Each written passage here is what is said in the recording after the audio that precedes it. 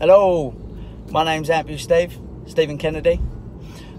I'm uh, had a meeting the other week with a bloke called Dr. Kang, who does uh, TMR and osseointegration, which is a pretty rare thing for upper limb amputees, which is me, transhumeral, just above elbow.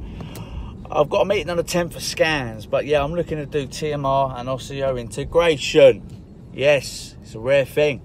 Basically, all I'm trying to do is build up enough people to support me on this and follow me and get the media coverage to allow other people who are later on in my shoes make the decision well help make the decision whether it's all the pros and cons basically. So basically all my video i'm to do three stages. Before my faults middle rehabilitation and maybe the fourth stage will be after in like four or five years and how i'm using with this bionic arm because it is compatible. So yeah i'm feeling pretty good at the mo bit nerve wracking. It's at the end of June, but we haven't really got a date yet. I'm waiting on a date, but I suppose I'll find it out on the 10th.